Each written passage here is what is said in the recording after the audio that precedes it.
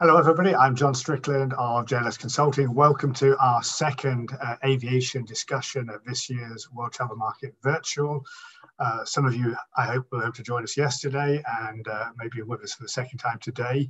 We're doing head to heads with uh, uh, leading industry CEOs, and today we have the leader of one of the largest airlines in the USA. They have around about 260 aircraft. Last year, they flew over 42 million customers. They call themselves New York's hometown airline, and the airline is JetBlue, hence my choice of a blue jacket today uh, to recognize the occasion. And the CEO, the president and CEO of this airline is, in fact, a Brit. So he truly is an Englishman in New York. Uh, I wish I had the song to sing by Sting, but I won't uh, inflict that upon you. So, welcome to Robin Hayes. Hey, John, great to see you again. Likewise, and uh, just a shame we're not here in, in person, either in Apple or here in London, but at least we managed to do it through this uh, online mechanism. Robin, let's just open up, uh, uh t- tell the audience a little bit about yourself. You, you, are a seasoned airline man. I mean, you've been at, at, JetBlue itself for a number of years, but you had a long airline career prior to that uh, with an airline on this side of the Atlantic. Yeah, sure. So, uh, no, thanks, and uh, hello everyone, and it's uh, great to be with you uh, virtually. Um, sorry, not in person, but I think had I come to London for this, I probably would have uh, gone to see my team Arsenal play on uh, Sunday, and that was not a pretty game, uh, losing to Aston Villa. So maybe maybe good, but then that is revenge because the last time I saw them play Villa in person was actually the FA Cup final. We won that one. But anyway, so um, no, uh, great to be here. So yeah, I've been in the industry over 30 years. I spent most of that at uh, British Airways. Um, and uh, I joined uh, BA in 2008, and I came to JetBlue originally as the uh, chief commercial officer based here in New York, and uh, um, I've been here for uh, what just over 12 years now. So uh, um, it's uh, it's been a great uh, you know it's been a great run for me. I love this industry. I love all the people in the industry, and I you know I love what we do every day. And the airline itself, JetBlue, although as I said, you, you're a, a, massive, you know, one of the leading, I think, top five players uh, uh, by whatever metric you choose to look at within the states. You may not be known to all our viewers today, uh, particularly those who are, are UK based, but uh, just uh, give us a, a, bit of background. Uh, you know, you started in 1998, I think, founded by David Neeleman, who's a very well-known entrepreneur in the industry. Yeah, so David David founded JetBlue you know, he'd created Morris Air, uh, sold that to Southwest, went to work for Southwest for a period of time, uh, and um, you know, uh, left to start JetBlue. And uh, you know, David's vision was to create a low-cost airline uh, based in New York because back in the day there was uh, plenty of availability at JFK, um, and start a, an airline that wasn't just about low fares but also great service. You know, and I think the thing that is pretty unique for JetBlue and it's not easy to pull off. But we focus on not just offering our customers the best product, but to do it at a very low fare. It means we had to be incredibly efficient uh, and productive. But we've been doing it for over 20 years. And, um, you know, I think uh, we're based here in New York, uh, but we are the largest airline in Boston. We're the largest airline down in Fort Lauderdale. Uh, we're the largest airline in uh, Puerto Rico. And uh, we also have um, uh, what we call focus cities out in uh, Los Angeles and uh, Orlando as well. So uh, that's us. If you haven't flown us, then uh, if you're flying in coach, we call it core. Um, we offer the most legroom of any US airline.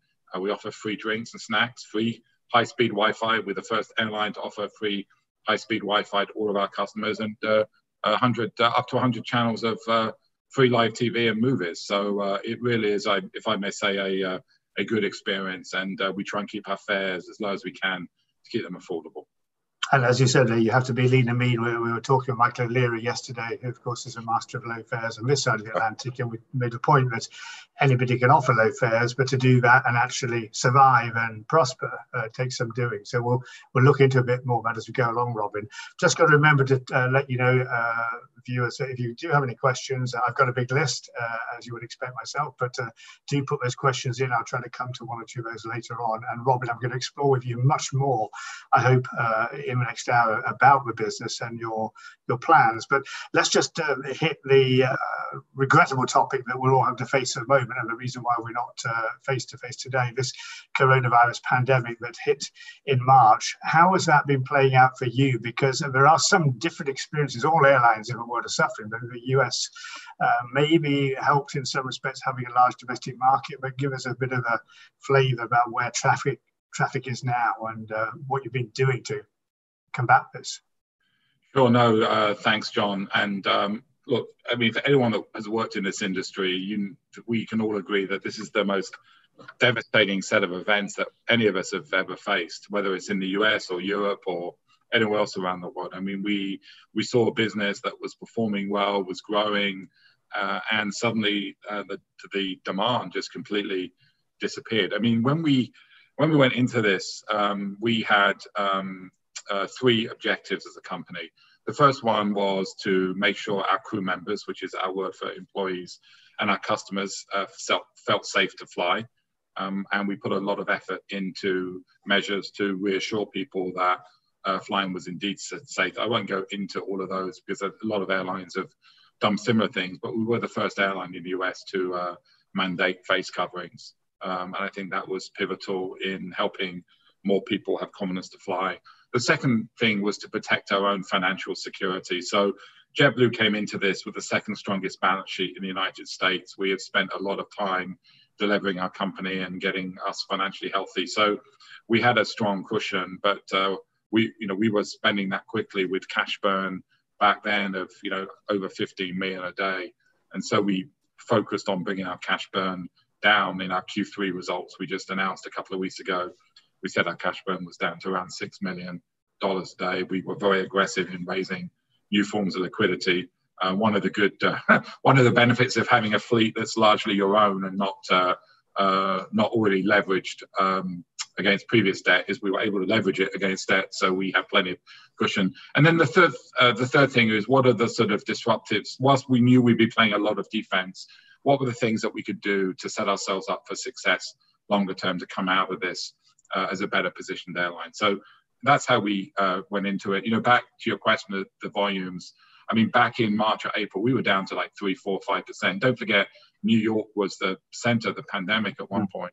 Uh, and then, you know, right now, uh, the U.S. industry, you know, we're back between 30 to 40 percent of normal, uh, and that's both domestic and what I call close to home international, like the Caribbean, that's uh, started to come back as well. Uh, you, you, mentioned, uh, as you said, several airlines have taken the approach. I think almost worldwide now in uh, requiring face masks to be worn. Uh, as, as this whole pandemic played out, was a lot of debate about whether middle sh- middle seats should be left mm-hmm. free, and of course it wasn't really an issue initially because, as you said there, the volumes were so low. Volumes have recovered, but I think uh, you've said uh, at least at the moment you are trying to maintain that middle seat free policy. I, mean, I, I know it's a moot point whether it makes a big difference, but yeah. you feel at the moment that you can still do that, but it's worth doing from a customer point of view. Well, I think you know we did it. We did it. Uh, we we we off. We were doing the middle seat free for a while. Uh, we did announce uh, recently that we would uh, go to uh, caps of seventy percent.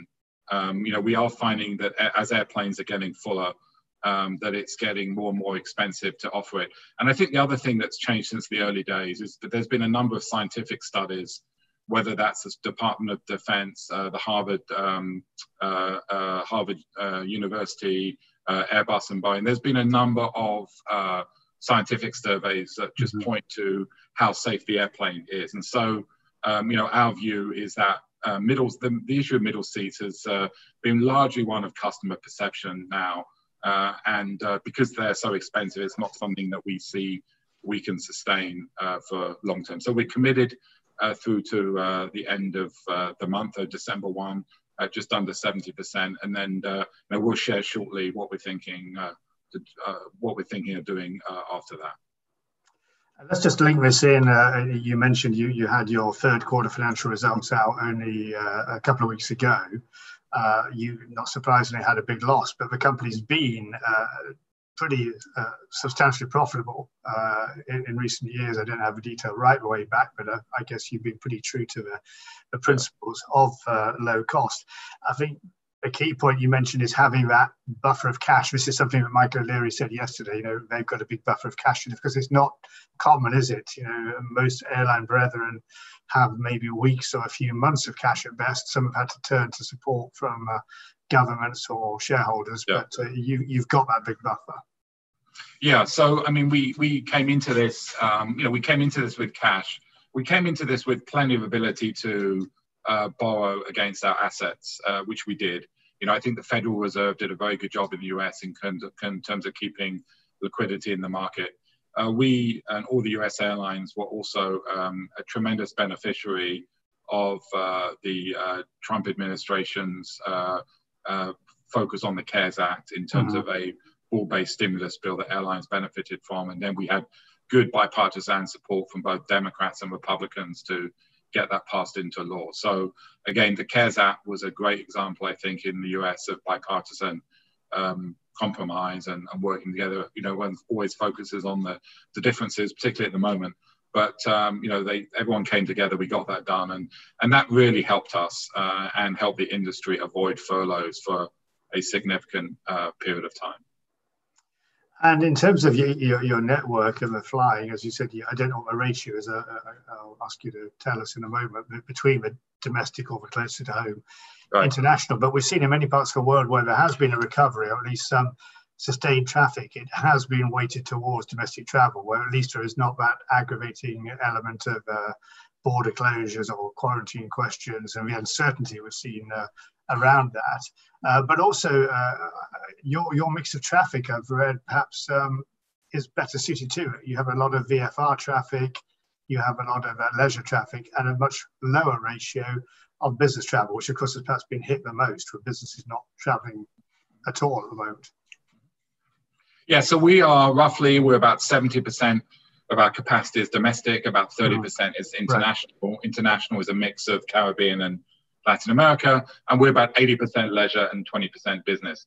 I do, one of the uh, challenges though is the domestic, even though uh, you would think domestic travel would be easy, we have seen a number of states in the US put travel quarantines in. So, right, okay. whilst it may not be flying internationally, you know, some of the same challenges that the industry has seen in the UK, for example, with the 14 day quarantine, uh, we've had the same issues here.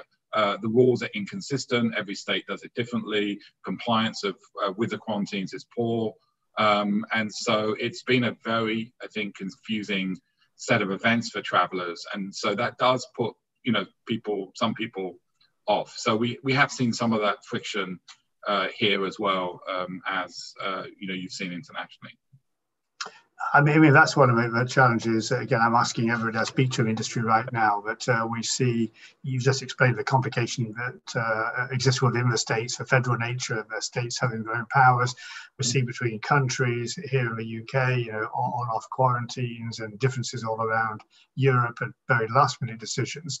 Do you think there's any better way uh, of getting the industry as a whole whatever its members, airlines, airports, manufacturers, to somehow get the message over uh, that aviation is as important as we all know it is, uh, and to try to have a, a, a, more cooperative approach between governments and the industry, as we see within the industry itself, to to get us back in the right direction.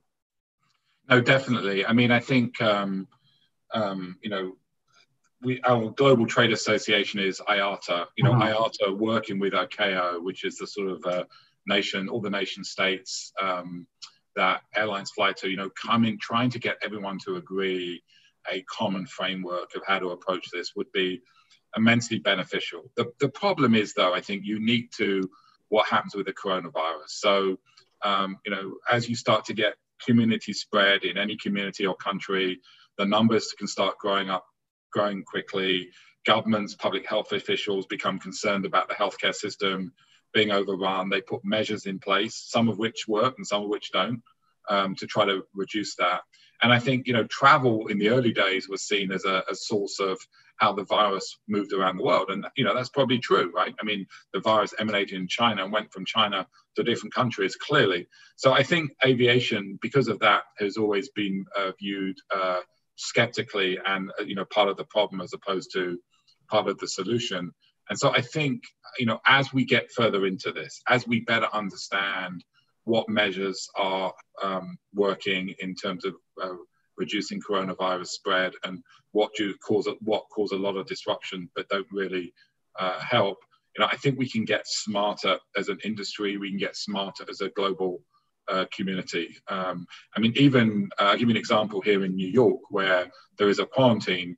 We have 750,000 kids coming back from all over the country into New York State for Thanksgiving. Mm-hmm. Um, and a 14 day quarantine in itself doesn't necessarily help that because you don't know if you're positive or not. You go home, you're probably, uh, if you, if even if you comply with uh, quarantine, and I make no comment on how well college kids we think will comply with quarantine, and I have one. Um, but um, but even if you do comply, you're at home with family. Uh, if you have coronavirus, you could transmit it, and suddenly you've got a lot more community spread. So testing is a better answer than uh-huh. just quarantine. So New York State, to their credit, rolled out a couple of weeks ago a testing alternative, um, so that if you test uh, and you get two negative tests, uh, then you can come out of quarantine. It gives people incentive to get tested, to come out of quarantine, and I think it's going to improve compliance because most people look at that and say that's a more reasonable alternative. So it's safer, uh, and I think it helps people um, work through some of the friction points, and it means that you then have more people that can start doing things and contributing to economic activity again. And you specifically have been talking or, or promoting um, at home COVID testing, haven't you? And again, Michael O'Leary was strongly of the view that this should be done before departure and it should be done even before getting to the airport, because of course, when airports are empty, you could theoretically do it there, but as volumes yeah. up, you can't. Uh, yeah. Is that something that's a, a kind of a carrier specific uh, concept that you're, you're, you're fostering? Robin? Yeah, so you know, we like other airlines are very focused on this issue. You know, we do think testing is a important part of how the industry uh, steps out of this. Uh, but we have to be thoughtful. I mean, here's here's here's the challenge as I see it. The, the if the travel industry doesn't work together on this, um, every company that you will be um, looking to use on a vacation, for example, is going to have their own rules. Like you know, I go and check into my airline, they're going to want some form of proof of test, or when I where I land, they're going to want some form of proof of test. I go and check into my hotel. I go to the amusement park. You know, everyone is looking to build these things individually, and I think that the the secret sauce is how how can we create something that um, we can all use? So a customer maybe goes and gets a test in their local pharmacy before they go. Um, it gets uploaded onto an app, and then they can use that throughout their whole travel experience. The cost of testing is also going to come down. So PCR testing, which is you know most of what uh, people are using at the moment, is around 100 and 150 dollars here in the US for a test. What you're seeing is antigen testing coming very quickly, which is going to significantly reduce that price point. So not only would it be cheaper to either go to your pharmacy and do it, or a, a home test, or even a test at the airport, if for those that haven't done it. Um, the so the cost of those antigen tests are coming down. The accuracy of those antigen tests is going up. So you know, I think we're getting to a point here, and it you know probably isn't until uh, 2021 um, where I think that this level of low cost, highly accurate antigen testing could be widely available. And I think that would be a huge bonus for the travel industry and starting to open up again. But yeah, so we partnered with a company called Vault at the moment. Uh, it's a it's a PCR test. It's home based, um, but it's been extremely uh, uh, helpful in terms of giving customers another alternative. Well, you know, thanks, Robin. And certainly something we're going to have to live with uh, for quite some time ahead. And even the vaccine, we had this good news about Pfizer uh, yesterday or the day before, but I guess very early days on that. So we shouldn't get uh, too uh, ebullient and uh, excited so far. Let's move on from this uh, unfortunate but you know very present topic, Robin, to, to look more at the commercial uh, makeup of JetBlue and your network and so on. Just just briefly on competition. I mean, we, have got to what five or six uh, major carriers in the USA. You've got the three big network carriers: uh, American, uh, Delta, and United, and then three which I guess you put under the low cost bracket. In, in that bracket, uh, looking at yourselves, Southwest, who of course were the founders, if you like, of a low cost concept, and more recently Spirit, who perhaps look more like maybe I'm wrong, but more of a bargain basement, very price led and uh, basic service, perhaps fitting the Ryanair mold. The three low costs are quite different. Mm-hmm. Uh, mm-hmm. Where do you kind of see yourselves in that? Yeah, no, I mean, I think I think that's right. I mean, we all kind of make our individual uh, choices. Um, you know, we all think about how we want to segment our customers, who we want to appeal to. I mean, uh, JetBlue has always I focused uh, right from David Neeleman when he created it. Like, we don't think you should have to choose between low fares and great service. So we're going to find a way of running our airline. It's not easy, especially in New York, where you know costs tend to be higher, to um, continue to uh, offer um, uh, all of the sort of um, product features that customers have come accustomed to. You know, that they love our free live TV. They uh, customers love our free Wi-Fi. They appreciate the extra legroom. Um, but we want to, you know, keep our, our, our fares down. And so um, that is, I think, how we truly differentiate ourselves. I think that's different to um, some of our competitors in this space who make different choices based on what they think the right business model for them. Uh, the wonderful thing is in the you know, in the markets in the US where it's competitive, then you have a lot of choice. Uh, and uh, you know, other other cities there isn't so much choice because you tend to have one dominant uh, airline. But um, for you know, for for many Americans, they can kind of uh, enjoy that. We have tremendous brand loyalty where we fly. I mean, uh, we um, really appreciate the uh, um, affinity that customers have for, for JetBlue, and you know, we we have people that were little kids flying us when we started 20 years ago, and um, you know now they're uh, they've either at college or they've gone through college or maybe even starting to have kids of their own, and they're still flying JetBlue 20 years later, and we just so appreciate that. And you mentioned about you know the, the, the onboard service of three uh, television and entertainment channels, uh, the three branded snacks. I mean, what's the reason? I mean, I know that was there from the beginning in the DNA of JetBlue, but what's the reason uh, that you do offer that free even in in the, the, the coach or economy cabin when you could arguably make a you know more than a few bucks on that uh, as a, as a stream of ancillary revenue? No, I mean, I think that, I mean, if we took away the blue chips, I, I think people would go crazy. I mean, I mean, it's so, it's so part of our core. I mean, John, we are an airline that, I mean, we've only been around 20 years, but we, we go back to our, um, you know, we go back to our roots a lot and we sort of uh, um, say, what are we about? I mean, you know, the founders, David Neeleman, Dave Barger, and others, when they created the airline, the first thing they did was to create the values safety, caring, integrity, passion, and fun. They did that before they had even bought an airplane or had a business plan. And, and so our culture is very important to us.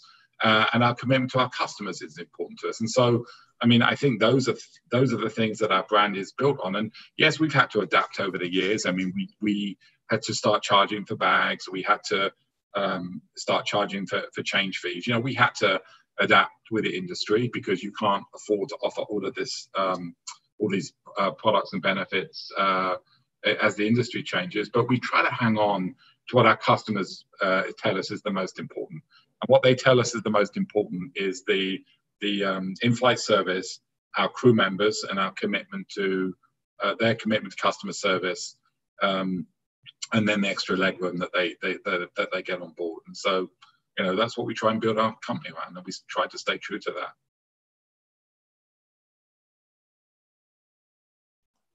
I don't know which of those words you heard. I just muted myself temporarily by mistake. Yeah, I think it is interesting. That's a new thing of the year, isn't it? Uh, you're on mute. I don't think I ever said that before COVID. Exactly. It's becoming the in word, unfortunately. Yeah. yeah. I mean, it's interesting to see that customer response because uh, both yourselves and Southwest, as I said, you, you fall into that low cost bracket, which is harder to define anyway.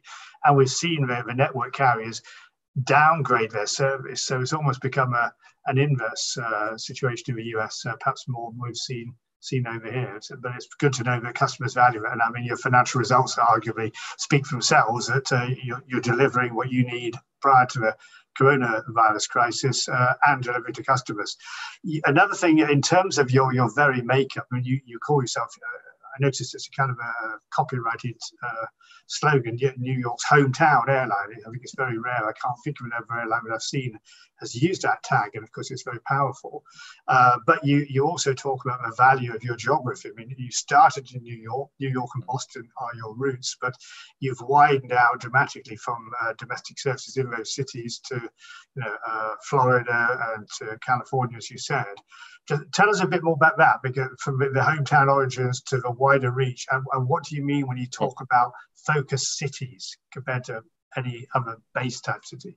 Yeah, so we use the term focus city rather than hub um, because we are a point-to-point business. So between 80 to 90 percent of our business, um, and it's honestly it's really between 85 to 90 percent of our business is point to point. Um, so we don't uh, we don't really build our network for connections, um, uh, particularly New York. I mean, it is not it's not an easy airport to connect through, and we don't really want people to connect into it. Um, so we're we're built on we're built for point to point. So that uses the term, and and I think if you if you look back to when JetBlue was uh, created, it was very much based on uh, the northeast of Florida. We have a tremendous franchise that represents about 30% of our cap capacity. We then started building um, sort of um, between 2005 onwards. We started building our Caribbean franchise. So we have a very strong network into the Caribbean now, again, out of the Northeast. Um, where we always had an area of weakness was on our Transcon business. And it was, you know, it, it was very important. I mean, um, but we couldn't make money on Transcon. And, so, and the reason we couldn't make money is we, we had a 20, 15, 20% unit revenue deficit to our competitors. And that was because we weren't carrying any of the higher value, um, you know, first class market. So we developed a product that we rolled out in 2014 called Mint. It's uh, an amazing um, uh, experience. It's flatbeds for everybody. It was a real, really pioneering in the US when we uh, came out with it. But again, in line with our low cost commitment, when we rolled it out, we weren't charging over $2,000 like our competitors were at the time. Uh, we started with a of $599. And it really has changed the game at Transcon. It's raised everyone's product quality because they've had to compete with Mint. Uh, it's also brought the fares down, premium fares down about 50% on what they were before uh, JetBlue started flying Mint. Because of that, it's enabled us to build a very successful Transcon franchise as well. So if you look at the sort of the three, if you like, you know, every airline has a kind of network kind of that it's in its DNA. It's Northeast Florida, it's Northeast Caribbean, and it's Transcon. And then on top of that, we have a certain amount of short haul flying. Uh, we do out of New York and Boston, which is more aimed at the business market, and that makes up. Do you do that the New York Boston shuttle? Is that part of the? Uh... Well, we do have a we do have uh, we do have a actually you know what we market is uh, we fly to all three New York airports from Boston. So we actually uh, have flights to JFK, LaGuardia, and and Newark. So what we say to customers is you know if you want to fly into Newark and out of LaGuardia because maybe you you you know you got two or three different meetings in New York, you know we're your guy. Uh, and um, you know we're the we have the largest uh, number of flights per day and number largest number of destin direct destinations by far uh, up in Boston. And it's, it's interesting what you said, you know, coming back to at the beginning when you talked about uh, JFK, because I, I remember, of course, JFK, uh, many of the audience may not realize that airport did, as you said, have a lot of spare capacity for past. It was primarily yeah, yeah. the intercontinental airport, as you would know from your BA days, many BA yeah. and other European US carrier flights to Europe, but enormous periods of time when not much was happening. And I guess David Neeleman and the, startup team saw that opportunity to yeah. use that capacity. You've really made it your own and then bolting on yeah. the other two airports subsequently. Yeah, correct. I mean, David used to say that you could uh, you could bowl a bowling ball down the JFK runway at uh, you know in the early afternoon because there was there was no one coming in and out, and uh, you know David got a lot of support, uh, particularly from uh, Senator Schumer back in the day, um, now Minority Leader Schumer. Uh, we'll see if that changes after the Georgia runoffs. Uh, but um, uh, yeah, I mean that's right. Build at JFK, and look, we we uh, we've managed to grow Newark. That's one of the things we've done during COVID. We've aggressively grown Newark. We have more flights out of Newark now than we did before the pandemic. Um, and you know, LaGuardia, we we uh, if we could get more flights into LaGuardia, uh, we could do, I think, a spectacular job at uh, lowering fares uh, there as well. Fares at LaGuardia do um, you know, tend to be stubbornly, stubbornly, stubbornly, can't speak, um, uh, are stubbornly high because, um, you know, there's just not enough JetBlue, low cost JetBlue service to help keep the fares down. And I must ask as well, just by sheer coincidence, I did an interview uh, a couple of weeks ago with uh, Rick Cotton, uh, executive director oh, of New York Port Authority, uh, so you know your yeah. partner in crime, so to speak. Yeah, yeah, yeah. And he acknowledged, you know, the, the, the, three airports in New York have not really given the best uh, image of New York over many years. I mean, yeah. in some ways, no fault of their own, but, but they're just that the, the market's so big that they they are, according to Rick, um, really working hard, starting a thing with LaGuardia to put that right with big yeah. investment in the infrastructure, maybe even expedited by the coronavirus uh, challenge and the need yeah. to change in technology. Is that something you're finding, Robin? Are you, are you happy yeah. with what you're able to offer your customers? Yeah, I mean, Rick, I got to say, you know, Rick came into that job and he made it his number one mission to, um, in, you know, begin the process of investing in infrastructure. Uh, him and his team, uh, Huntley and others, have done a great job. I mean, we've got a new terminal at LaGuardia that is largely open. Um, some gates still to open, but the head, you know, the, the main terminal building is open. I flew through it last week. It's beautiful. Um, uh, you know, new terminal going up at Newark that we'll be moving into and uh, you know plans to develop JFK, including our own plans to uh, uh, you know build a larger facility there. So uh, yeah, we really appreciate everyone at JetBlue really appreciates everything Rick and the Port Authority uh, has, has, done. That's good. And in terms of um, development, you said you don't really work for connections, but you have always been willing to have a variety of code shares. yeah. And I don't know if these are all current, but I remember from some of my own consultancy work, you you have uh, code shared with Aer Lingus, for example, with Iceland, uh, with a lot mm-hmm. of their transatlantic activity through uh, uh, Reykjavik. Um, and of course, you just announced a, a, bigger strategic partnership with one of those large network yeah. groups, American, this yeah. summer. That one, it looks to me, will be a bit more focused on connections, and American's going to put some more uh, intercontinental flights out of JFK, which apparently they haven't done for some years, precisely yeah. because they'll be able to get more feed from yourselves. Yeah.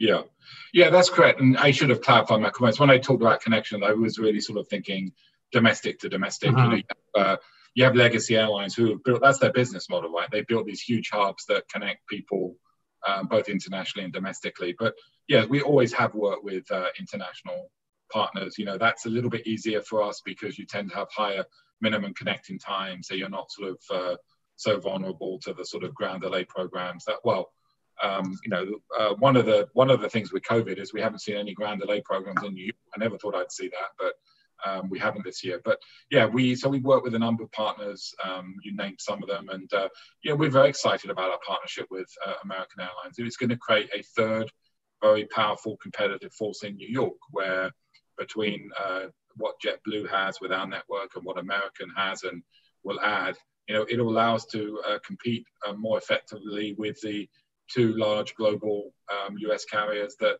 have hubs, one at JFK and one at uh, Newark. In addition, you know, we will get access to more slots in New York that will allow us to do what we do best, which is add flights, improve service, and reduce fares. And so I think um, it's really incredible opportunity for us. It's a great opportunity for American, but the real winners are the consumers who will just see uh, more JetBlue flights uh, and more lower fares and more connection opportunities uh, with American to add to what they already have on competitive airlines today. Now, now we talked about you know, you know the, the network in its broader sense. We talked about the coronavirus uh, crisis, but I noticed it in your recent uh, investor briefing, uh, uh and um, I touched on this point with Michael O'Leary. Of course, in terms of planning a network, in terms of pricing your capacity, airlines normally have all sorts of data available, historical trends that are used in network yeah. planning, in revenue management. All of that has uh, been more or less uh, thrown on a scrap heap, at least for now, with, with no meaningful historic information. And you've referred to that, you've talked about your, your booking window tightening up. Michael Leary said the same uh, mm. yesterday.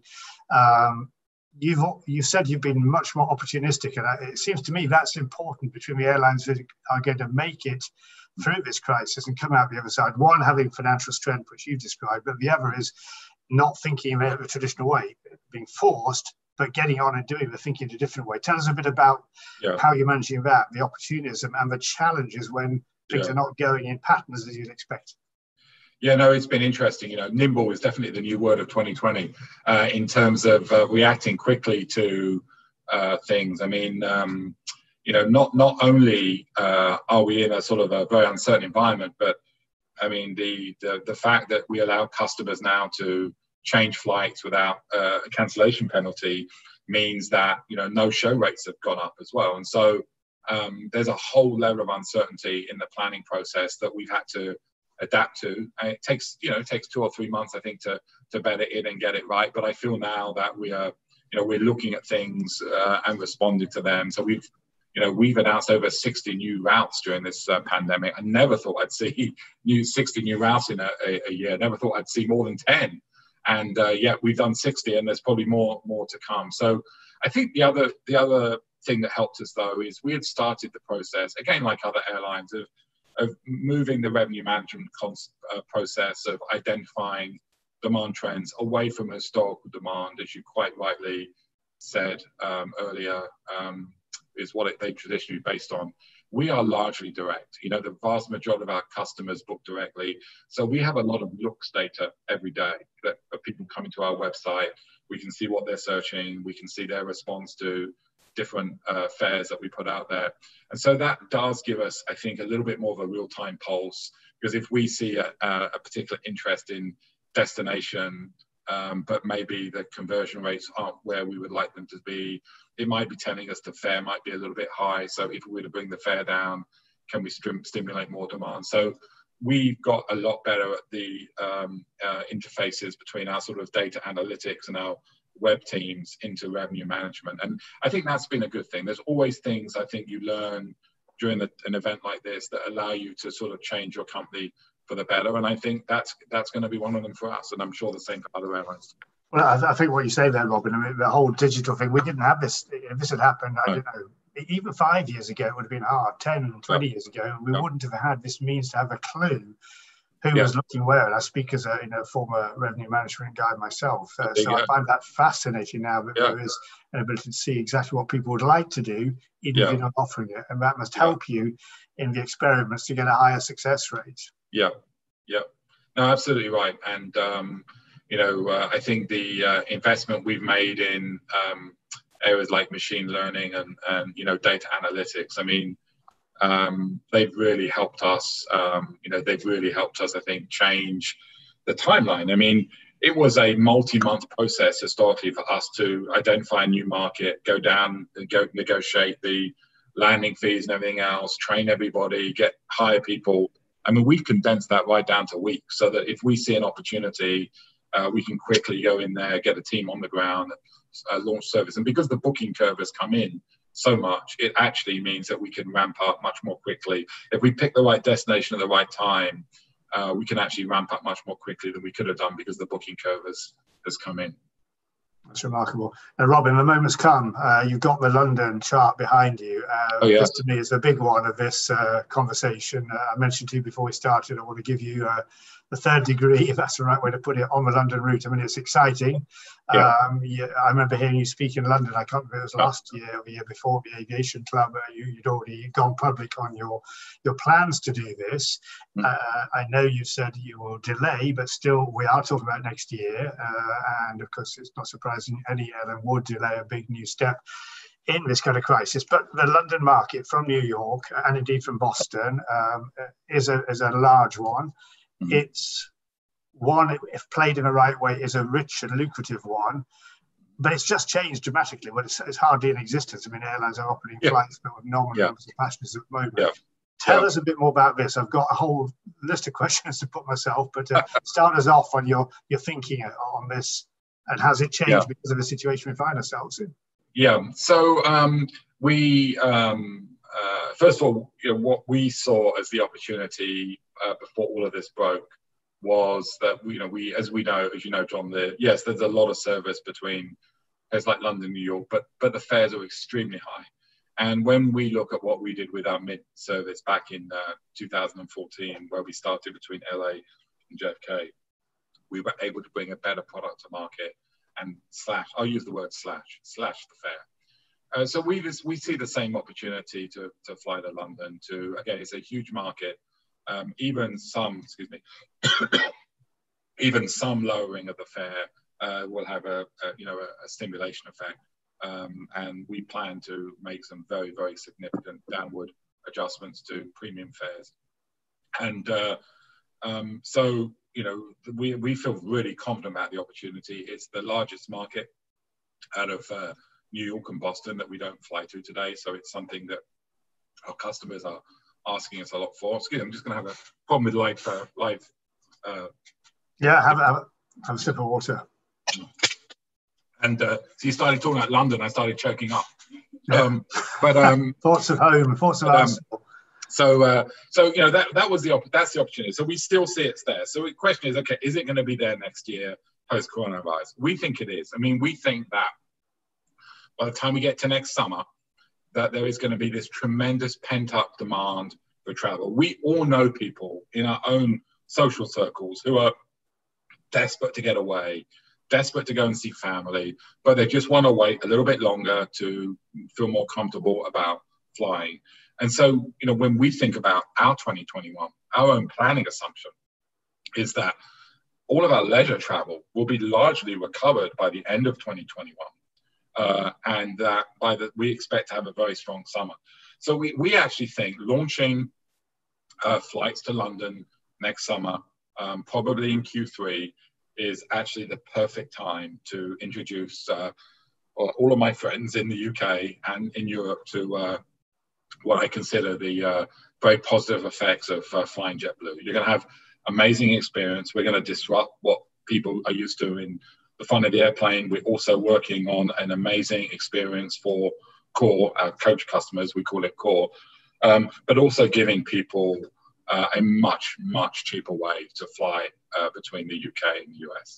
Now, it's interesting you, you, in two respects that you say the ability to offer lower premium fares because you know this is a, a big market. It's, it's been a crowded market. We see airlines who've come in with uh, great new products for, for price-led customers, primarily, primarily in economy cabin, wonderful aircraft equipment. I'm thinking particularly yep. of uh, players like Norwegian, who at this very moment uh, there's a lot of uncertainty about their future, and he, if they manage to make it through the next few months, uh, they may not actually return to much of any of our long haul flights. So, as, as, you know better than most from your BA experience, for us, that challenge at the, the low end prices, the, top end prices, and again, BA, we've both been there, British Airways, and seen those chock a block cabins of uh, club class passengers, maybe uh, more than 100 a flight at top dollar fares. But at the moment, that's just vanished, and it's you know that vanishing of that core traffic, which is so fundamental to an airline like BA or indeed a Lufthansa. Um, and we see the retirement of some of their large wide-bodied aircraft, suggesting we don't think it's going to come back. But I do wonder. Um, I'm feeding you, I hope, the right line here, Robin. I do wonder if exactly your philosophy that fares at the top end, at the premium end, are going to be yeah. much lower. Oh yeah. Uh, and some some business traffic is going to come back, and then this whole thing about business travel will. When I looked, I haven't yeah. yet the to fly any product. When I when I look at it and see the pictures of the seats, even some of them, you know, really enclosed little cabins. I thought mm. maybe this is even another benefit that you you could exploit. Mm. Yeah. Well, first of all, thank you, John. We and we haven't actually shared what our uh, Europe, uh, European uh, service is going to be. We will no. be doing that shortly, uh, but we are, you know, going to significantly uh, enhance what we already offer. Mm-hmm. Um, so we're very excited about that. And you know, again, I I I, sh- I, shouldn't and I can't talk about you know how we would price this uh, product, but I will point to what we did back in 2014 between uh, JFK and LAX, where the fares at the time, were, the matter of course, 2,100, 2,000 $2,200, and we rolled out Mint at $599. And so, you know, we want to have a profound effect. We, we want part of our legacy on the North Atlantic to be uh, that this is the airline that came along and profitably uh, brought premium fares down for everyone for good. And I always say to people, you don't fly JetBlue, fine, you're going to enjoy a lower fare flying one of our competitors because that's what we do. So it's going to take us some time to ramp up into that, obviously, because we'll start cautiously and uh, you know, we are before this pandemic, we are a very profitable airline. London actually represents a relatively small portion of our total uh, capacity. Uh, and and you know another thing, we're flying narrow-bodied airplanes. We aren't flying wide bodies, and so the the um, you know investment of of a new service like this is of course much lower.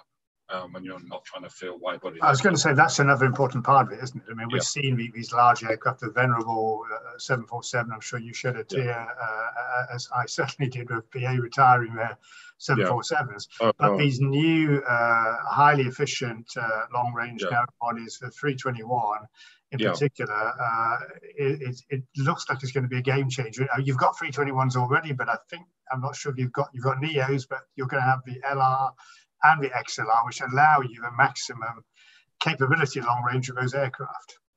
Correct. Yeah, we have um, we have um, 26 LRs and XLRs uh, on order, and uh, um, yeah, th- those are really designed around our sort of uh, plans for our European uh, footprint over time.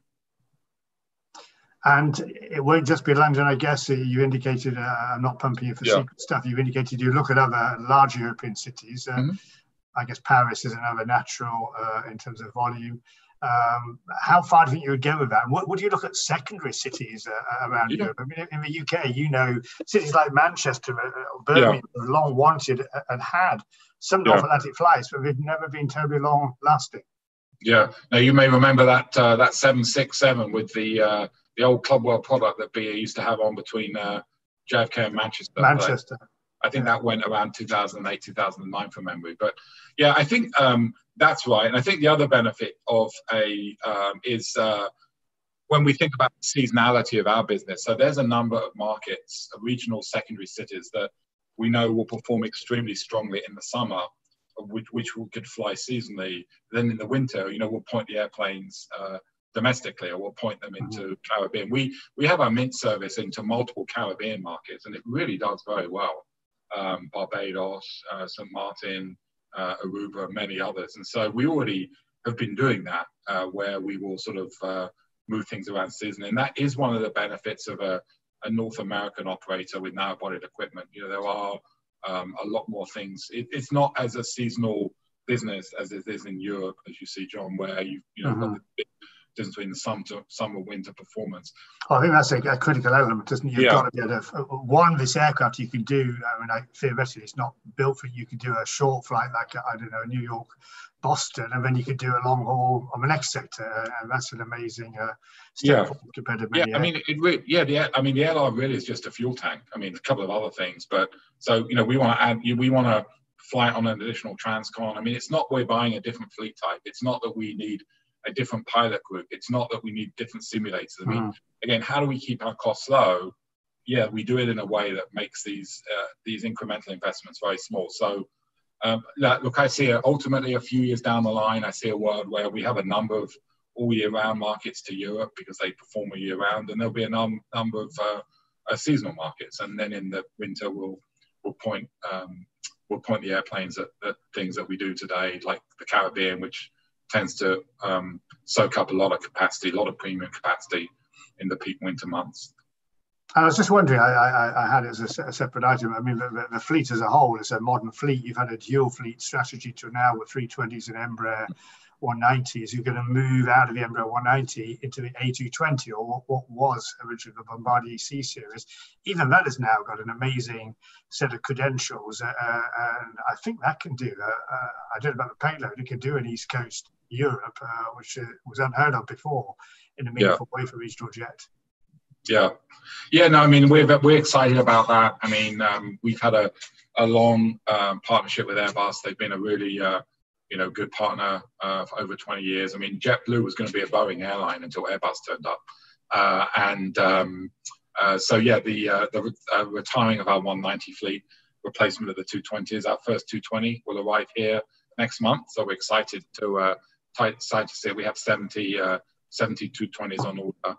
Um, so yeah, I mean, I think again, um, whilst we have made two billion dollars of capital deferred capex, uh, capital expenditure deferrals uh, because of the coronavirus pandemic, um, you know, we're still committed to the 220 uh, replacement the 190 because it drives a significant amount of, uh, you know, operating margin improvement for us uh, going forward. And just back specifically a bit, bit more to run on, on the on the transatlantic, uh, Robin. I mean, no one's going to welcome you with open arms, and we've seen in numerous huh? situations of competition. I mean, other competitors are not going to welcome you with open arms. Is I should say to be more correct. No. Um, what's your, your feeling about that? I mean, you've been you've been on both sides of the tracks. You've seen yeah. how these battles play out. Uh, you've got not just the firepower with you know, some of these groups uh, with their large frequencies and their joint ventures and their alliances, but the range of products and, and, and maybe the buy-in as well in the corporate travel market. Uh, and, and, you're not known at the moment on this side of the Atlantic. So yeah. you've got the strength on the US side, but you've got you've got to counter those elements to, to yeah. break your way in. Yeah, yeah. I mean, uh, we're really based again. First of all, uh, just a reminder that we're flying uh, narrow-bodied equipment, so we, yeah. Uh, you know, we we don't need very much to, uh, uh, to be very successful. I think the stimulation of the market that we will do by the fare reductions we have in mind uh, will you know more than uh, you know offset what we need. But look, we're basing this on a um, a European point of sale, uh, sorry, on a US point of sale uh, model. Uh, we have a number of partners that will we be partnering on this flight with in terms of a uh, interline or code share um, partner. Um, and obviously, we have a, an extremely extensive amount of frequent flyers in our True Blue program, both in New York and Boston. So um, and we have some corporate customers as well. And again, when we did Mint in the um, uh, transcon between uh, JFK and LAX, nearly said Heathrow and LAX there, but JFK and LAX, um, it was largely uh, leisure customers that we built it for. We didn't, we saw a little bit of small, medium sized corporate traffic because they weren't getting any discounts, but we didn't get a lot of big corporates on it. Uh, and to give you a sense, John, of how successful it was, we originally were going to do 11 Mint airplanes. Mm. Uh, then we said, okay, let's do 13 because it's going rather well. We now have 35. Wow. And honestly, if I could wave a magic wand and do something different, uh, I would have even more of those airplanes and maybe less airplanes that are all uh, coach or all core. So, um, and, and we make Mint work to markets where they've never had flatbed service before, and yet it works. And so, uh, is a combination of the airplane, it's a combination of our brand, and it's a combination of our incredible people. I mean, our Mint flight, in-flight crew members that work Mint, um, they are amazing. And if we, when we look at our, I mean, I'm not used to reading customer service where most customers are scoring their airline 10 out of 10 in a category. Uh, but when it when they're sort of describing the service they get from our crew members in Mint, they're scoring us regularly 10 out of 10. And so that just builds tremendous tremendous loyalty over time. So yeah, the you know the big guys will get out their big guns and they've got all sorts of tools and levers. But you know we've been uh, we've been um, we've been weaving around them here for 20 years. We have never really been welcomed by open arms. We've had lots of uh, um, uh, attempts over the years to try to limit what JetBlue's been able to do, but we've always found a way to compete uh, and bring our amazing product and our amazing people to market. And, and I mentioned you know, the challenges of long or low cost, which is not what you're proposing. And conversely, we did have a, a run, as you'll recall, when we had, I think we had three uh, all business class airlines flying to London from New York. Yeah. Differences in their products, and a couple yeah. were at Luton and one was at Stansted, and they all keeled over more or less about the time yes. of the financial crisis. I, I suppose uh, that's written large in your, your, your psyche to uh, avoid uh, the, the challenges that put them out of business. Yeah, I mean, again, I think what they didn't have um, um, was uh, the brand in the market already. They certainly didn't have the sort of customer loyalty. So they were starting flights and they didn't have really anything. Nobody knew about them. Yeah, no one knew about them. And I mean, again, we have millions and millions of customers in our frequent flyer program here in the Northeast. We have corporate accounts, we have existing airline partners. And so um, I mean, we're actually very cautious. I mean, um, we we we are very we've thought a lot about this. We could have actually started this probably a year or two earlier if we really had wanted to, but we wanted to spend our time. And um, you know, I think our success with Mint um, uh, gives me every confidence in the world. And you know, by the way, John, if it if it doesn't work, and um, you know, all we'll do is we'll take the fuel tank out of the airplanes and we'll fly them somewhere else. So the, the downside risk for us is is close to zero. But um, you know, we are 100% committed to this. We're 100% confident uh, that, that it will that it will work. I mean, when we can make Mint work multiple flights a day to multiple East Coast cities that never had flatbed service before, and suddenly they're full and it's profitable, and we're adding even more flights because people are talking about Mint. Um, I mean, I, I was called by um, uh, um, uh, actually, my wife was called by a, a catering company the other day who was doing an event for someone, and they were like, "Okay, I want to, I want to serve like uh, JetBlue mint meals, right?" So, I mean, the, the the whole loyalty around the Mint brand and, and what we deliver, I think we are so excited to take that to the next level and then putting on an airplane and bringing it to the United Kingdom. It's, it's, it certainly does seem, uh, in a strange way, this coronavirus is a catalyst at being the right moment. And I know you haven't announced exactly the Mint product uh, for yeah transatlantic, but seeing those images of, those aircraft with closed doors and privacy and wondering what people are thinking in the future, I think that's going to help. Yeah. I have got to ask you a million dollar question. I, I don't know, I can't remember what you said publicly about which London airport or which yeah. London airport. So I, my sources tell me, I think you have yeah. now applied and got slots for Stansted and Gatwick, I bet you've not gotten for Heathrow. But it seems to me, if you wanted Heathrow, which again arguably would be the jewel in the crown, mm although people are filing historic slots for next year, I can't see that's all going to happen again. You might be able to get all three if you so wished. Yeah. Um, so I'm not going to say too much on that now because uh, um, I think work in uh, progress, I guess. Uh, I think Emily, uh, who is in the team, will get very cross with me. Um, but you know, I will say what I've said that uh, you know we'll we'll make an announcement when we are ready to sort of uh, put the flights on sale um, and um, uh, we're, we're com- very confident we have a path into more than one London uh, airport, and, and we're excited about what we're thinking of doing.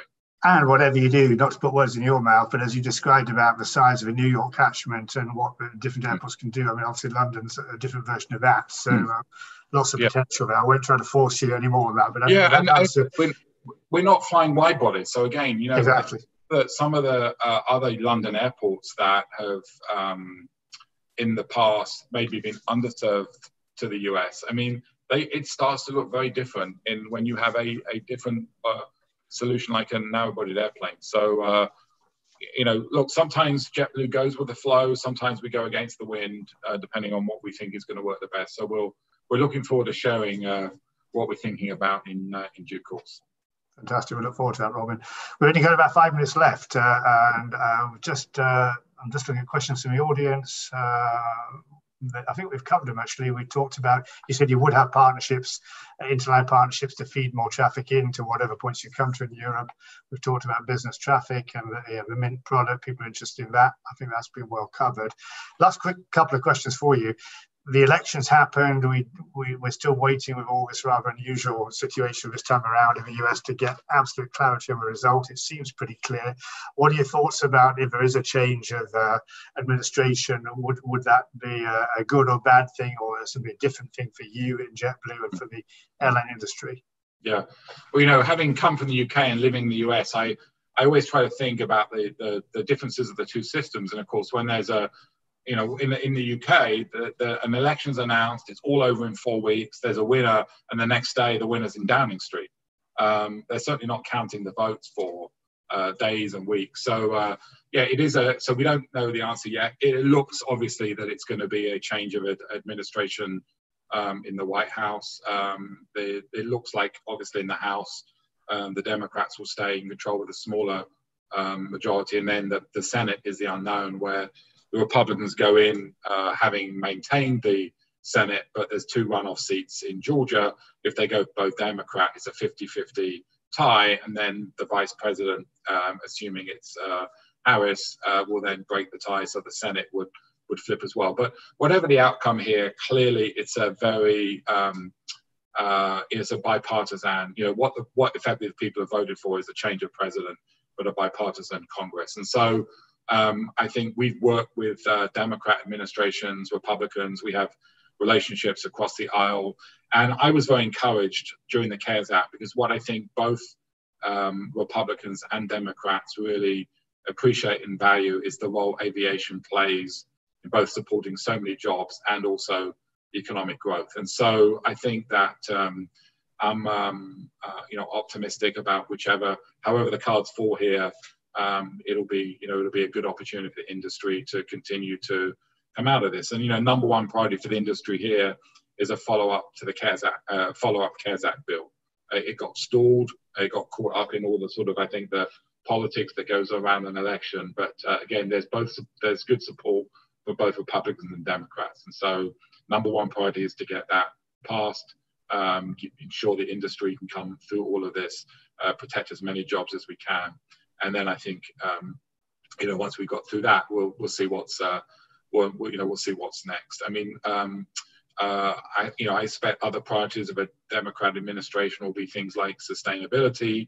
Uh, that's very important for JetBlue. You know, we were the first airline in the US to announce our plans to uh, go to um, uh, carbon uh, carbon neutral growth. Um, and um, you know, we'll, we'll, we'll wait and see. But uh, um, um, number one priority is the CARES Act and, and trying to get a follow-up extension so that we can protect as many jobs as we can in industry.